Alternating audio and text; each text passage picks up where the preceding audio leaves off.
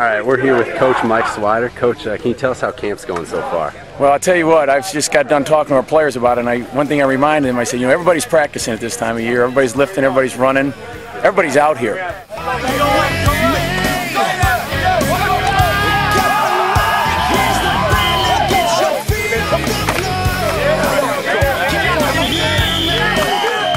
You, know, you don't beat your opponent by being out here, by practicing, by running, by lifting weights. The way you beat your opponent is by doing all those things better than they are.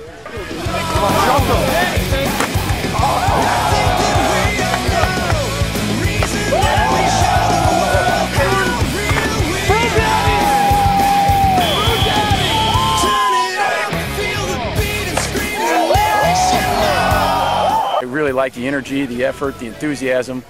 You know, I told our kids to pay attention to details, and I think we're doing a great job of that in camp.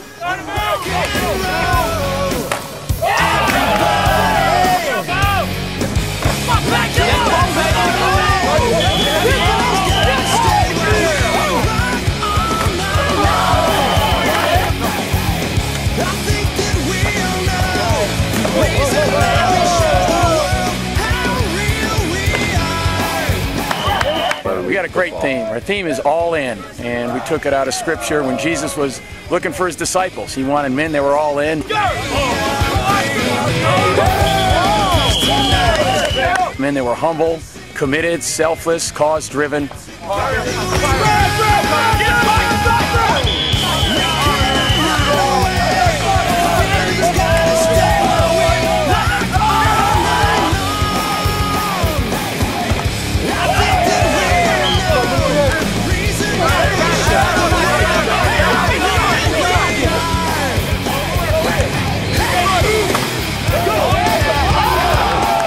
told our kids that, you know, Jesus found 11 of them and changed the world.